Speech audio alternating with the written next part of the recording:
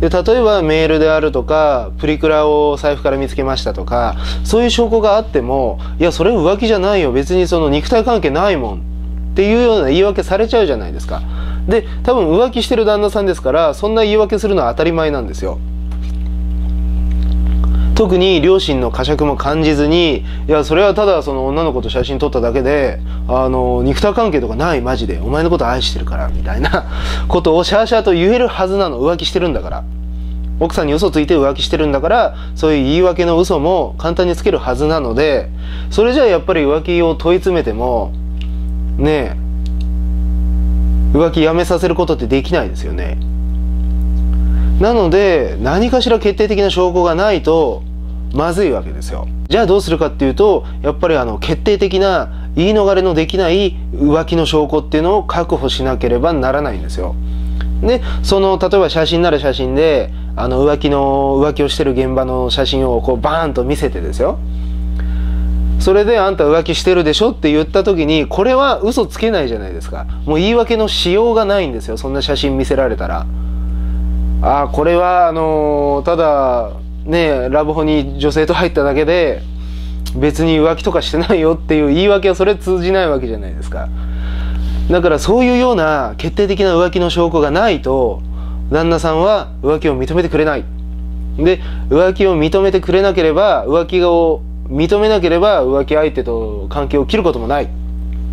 だから結局浮気の証拠がない状態で浮気を追求しちゃうと旦那がよりテクニカルな浮気をするようになっちゃう。でより奥さんにバレないようなバレないような浮気をしちゃうようになっちゃうので。ね。なのでどうしても決定的な浮気の証拠はもう絶対必要っていうことなんですよね。で決定的な証拠は何かっていうとメールとかプリクラとかなんか2人で写ってる写真がありますとかあのメールで愛してるって送ってるの見つけたとかそういうことを相談される相談者の方も多いんですけどね。でもそういうのじゃ正直あの法律的には証拠にならないんですよ。だって浮気っていうのは法律上は肉体関係のことを言うんです。だからちょっとその淡い恋心を抱いてるとかちょっとデートしたとかそういうのは浮気じゃないんですよ。肉体関係が浮気なのででそのプリクラとかメールとかだと肉体関係があったことまでは証明できないんですよ。なので何かしらの写真であるとか、まあ、決定的なその法律上認められるような、まあ、これは言い逃れできないよねっていうような浮気の証拠っていうのが必要になります。でそれは何かっていうと、まあ、例えばどっかのホテルに入ってきましたよっていう写真とかあの浮気相手の女の家に入ってきましたよっていう写真とかあとはその車の中で何かしらその肉体関係的なことしてますよっていうような音声とか写真とかあとはまあそうだね。よく時々あるのがホテルの中とかでお互いその裸でこうやって写メを撮ってるような写メがもしあったりしたら旦那さんの携帯とかに。まあそれは証拠になりますよね。それぐらいのレベルの証拠がないと旦那さんは絶対に否定するはずなんです。でそういうような浮気の決定的な証拠があればですよ。そこで初めて浮気してる旦那さんなり浮気してる奥さんなりがすいません浮気してましたごめんなさいっていう風になる可能性がようやっとそこで初めて出てきますよね。まあ夫婦であればそこから離婚するのかどうかっていうのをまあ考えればいいしでその復縁したいんであればそこから初めて復縁夫婦関係修復に向けての第一歩が始まるわけじゃないですか。ですよね。そういうような決定的な証拠があれば旦那さんは浮気してる旦那さんはもう浮気を認めざるを得ない。認めなきゃ話はもう進まないわけですからもう言い訳なんて通用しなくなってますからね。決定的な証拠があるので。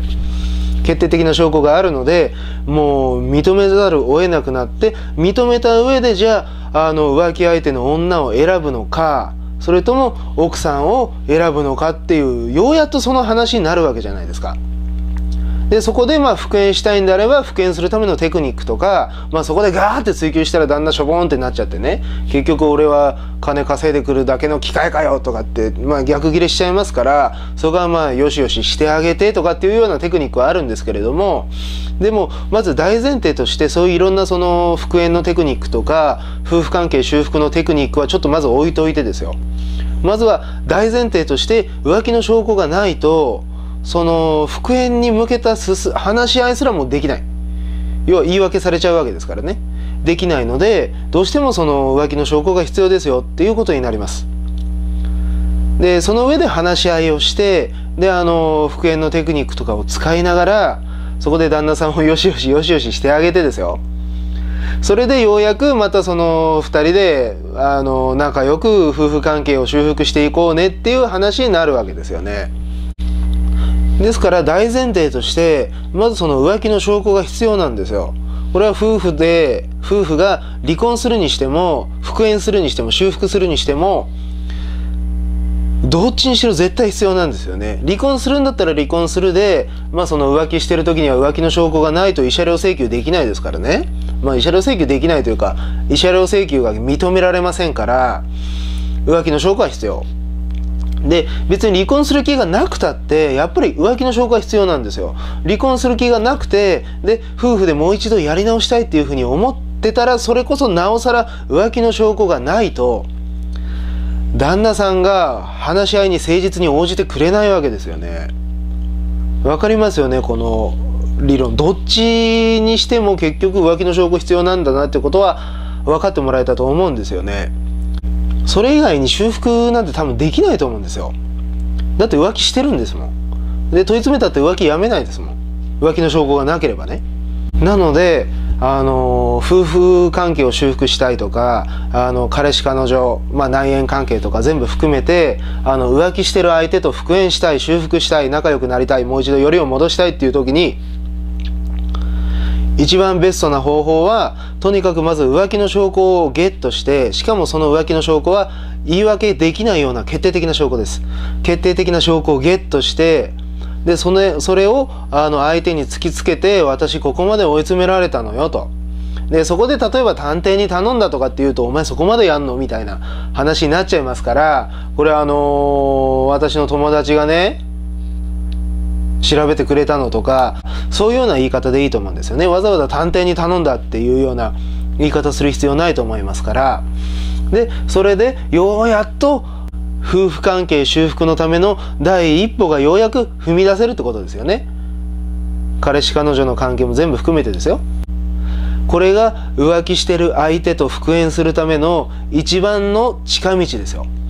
一番近道ただそのまあ大変ですよ。大変ですけれどもあのなんか細かいことこまごまこまごまなんかいろいろやるよりはもうパーンと決定的な証拠を取っちゃってですよ。浮気の証拠をね。その上で私こんなに追い詰められたんだよっていうことをその涙ながらに説明して理解してもらうと。いうことが大事ですよね。